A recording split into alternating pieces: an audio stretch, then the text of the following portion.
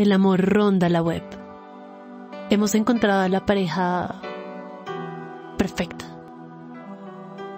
Derechos humanos y seguridad digital. Ah, en este caso creo que tenemos varias preguntas.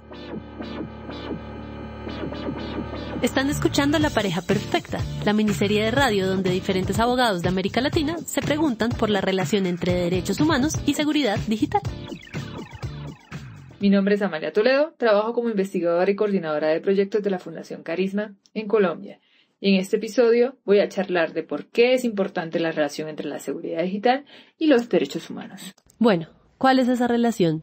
¿Qué tienen que ver esas dos cosas? Hoy nuestra vida cotidiana está mediada por la tecnología y todo eso que hacemos a través de estos medios no es otra cosa que ejercer nuestros derechos humanos. Cuando nos comunicamos, buscamos información o hacemos alguna denuncia, entra en juego nuestra libertad de expresión. Cuando nos organizamos a través de redes, estamos ejerciendo nuestro derecho a la libre asociación. Las gestiones en línea que hacemos con el gobierno o con nuestro banco, lo hacemos esperando que se proteja nuestra privacidad y que nuestros datos personales no queden vulnerados. Y así podemos seguir nombrando diferentes acciones frente al derecho.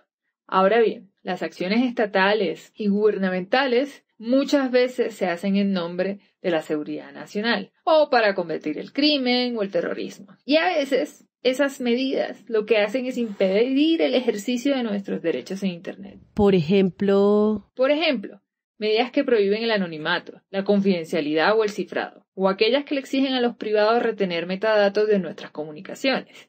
También esas otras que crean sistemas de vigilancia masiva o con tecnología que puede ser abusada o convertirnos en sospechosos de facto. También piensen en otras acciones sobre bloqueo de contenidos, imposición de filtros o la criminalización de sistemas informáticos por la razón que se le ocurra al gobierno. Como ve, la seguridad digital está íntimamente relacionada con las personas, pues es la forma como los estados definen e implementan acciones que terminan regulando nuestros comportamientos en línea. Ok, pero según tú, ¿por qué es necesario pensar en las políticas públicas de un país desde la perspectiva de los derechos humanos? Pues primero que todo es necesario porque, como vimos, a través de Internet ejercemos nuestros derechos. Lo que es lo mismo a decir que las personas gozamos de derechos tanto en el mundo analógico como en el virtual. Pero también hay otra realidad y es que el ciberespacio es un campo de tensión, donde confluyen una multiplicidad de acciones. Y esas acciones muchas veces atentan contra nuestros derechos humanos. Piénsese en la censura, en el control y manipulación de contenidos, en el retiro de contenidos en línea sin un debido proceso, en la filtración de datos personales, en las prácticas de los operadores de servicio de limitar la calidad del acceso para dar preferencia a ciertas aplicaciones, en la aplicación radical de la legislación de propiedad intelectual, en el espionaje, en el cibercrimen, etcétera, etcétera, etcétera. Todo esto confirma la necesidad de abordar el tema de la seguridad digital desde un enfoque de derechos humanos. Si nosotros no participamos de los procesos nacionales de formulación de políticas o de estrategias en seguridad digital, ni hacemos veduría de su implementación, es posible que algún día nos estén vendiendo gato por liebre.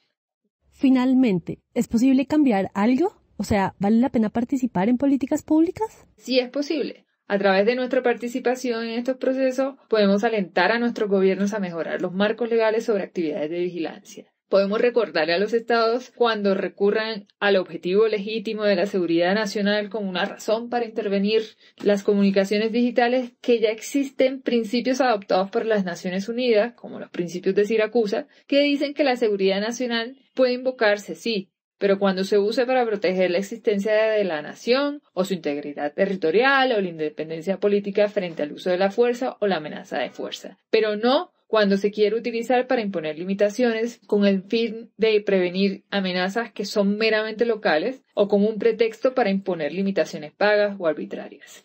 Participar en estos procesos también puede servir para mostrar buenas prácticas o aprendizajes de lo que ha funcionado o no en la implementación de planes nacionales de seguridad digital en el pasado o en otras fronteras, y para que a través de estos planes se creen iniciativas o canales gubernamentales de comunicación donde nosotros, simples mortales, ciudadanos interesados en la seguridad digital, podamos reportar vulnerabilidades, los sistemas informáticos de los estados, de esos que utilizamos constantemente para hacer gestiones oficiales con el estado. En todo caso, los estados ya tienen la obligación de protegernos, ¿no? Es cierto, sí, que los estados tienen obligaciones negativas y positivas para con los derechos humanos. Tienen que protegerlas, tienen que respetarlos eh, y tienen que defenderlos. Lo sabemos. Pero también sabemos que hay que usualmente ayudarlos para recordar, recordarles esas obligaciones, esas responsabilidades. Y en esta materia de la seguridad digital es aún más necesaria, de lo contrario, se van a enfocar en con una mirada técnica y lo que queremos es que recuerden que las personas estamos en el centro de la seguridad digital. Las ideas que escucharon en este episodio hacen parte de la serie de investigaciones Análisis de políticas sobre ciberseguridad y derechos humanos en América Latina, que desarrollan las organizaciones TEDIC de Paraguay, la Asociación por los Derechos Civiles de Argentina y la Fundación Carisma de Colombia, con el apoyo y la financiación de Privacy International y Ford Foundation. En la investigación, Amalia Toledo, Mari Carmen Sequera y Leandro Uchiferri. En la producción sonora, Laura Rojas Aponte. La miniserie radial La pareja perfecta está disponible bajo una licencia Creative Commons, reconocimiento compartir igual 4.0. Eso quiere decir que ustedes pueden remezclar, retocar y crear a partir de esta obra, incluso con fines comerciales, siempre y cuando le den el crédito al autor y la nueva creación lleve una licencia igual a esta.